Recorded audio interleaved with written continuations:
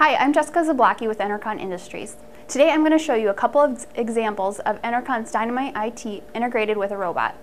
In this case, the Dyne-A-Mite IT is being used to treat the surface of a plastic part.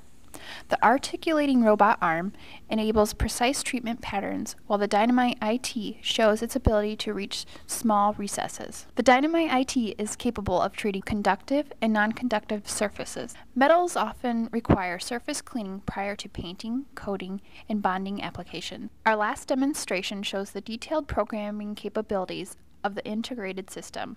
A unique treatment pattern is being created on the surface of this polymer. We will now reveal the treatment pattern with a simple color water solution.